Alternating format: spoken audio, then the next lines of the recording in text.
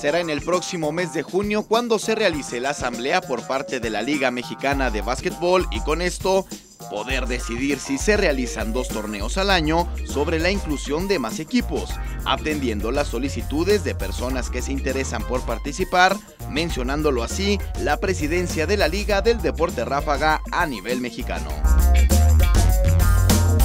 Luego de hacer análisis de lo que fue el primer torneo, tras 17 años de inactividad. Y por la opinión de los mismos participantes, se ve con buenos ojos hacer dos torneos cada 365 días, ya que resultaría benéfico en el desarrollo de nuevos jugadores.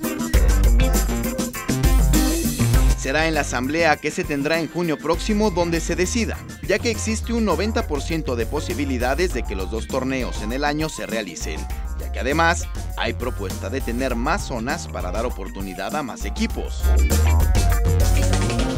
Tomando en cuenta que en el primer torneo se rebasaron las expectativas, de inicio se tuvieron dos bajas porque no se daban garantías de cumplir con la competencia, empezando con ocho equipos y así se finalizó, dentro de la rama varonil, con muy buen nivel,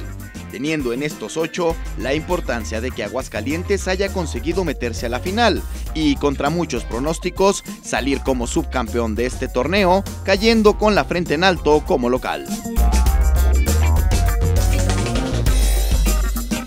En otros puntos a tratar, se tendrá que afinar las cláusulas del reglamento, calendario de la siguiente temporada y revisión de cuadernillo de cargos para nuevos candidatos. Cabe mencionar que esta próxima asamblea, a realizarse en el mes de junio, puede ser posible que se lleve a cabo en Guadalajara, León o Aguascalientes.